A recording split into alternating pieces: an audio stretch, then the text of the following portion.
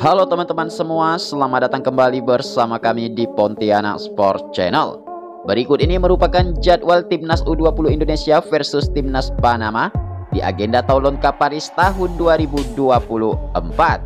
Dilengkapi dengan empat laga terakhir Timnas Indonesia, kemudian empat laga terakhir Timnas Panama, Kemudian dilengkapi juga dengan daftar 26 pemain Timnas U20 Indonesia untuk menghadapi Timnas Panama. Oke, yang pertama, mari kita melihat hasil pertandingan Timnas U20 Indonesia di Taulon Cup Paris 2024 tadi malam. Di pertandingan tadi malam, Timnas Indonesia harus puas menyerah dengan skor 0-3 atas Timnas Ukraina. Kemudian berikut ini adalah empat laga terakhir Timnas U20 Indonesia sebelum menghadapi Timnas Panama.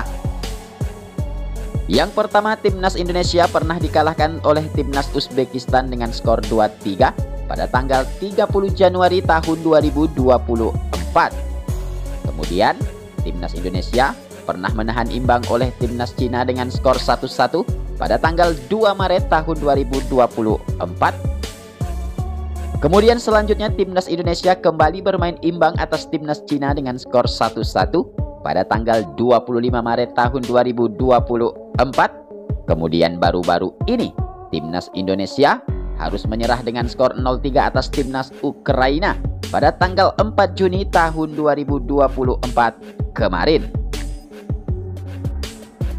Selanjutnya berikut ini merupakan empat laga terakhir Timnas Panama sebelum menghadapi Timnas Indonesia.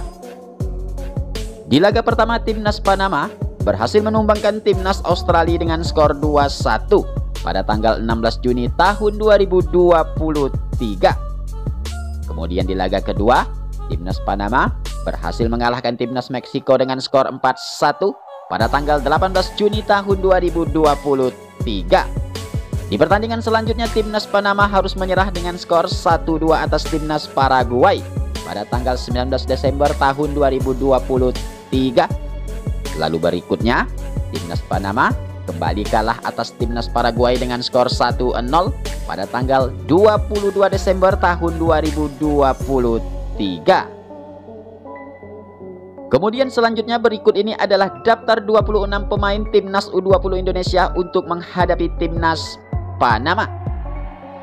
Yang pertama di posisi penjaga gawang ada nama Ikram Al-Ghifari dari Semen Padang. Kemudian yang kedua ada nama Aditya Ramadan dari PSMS.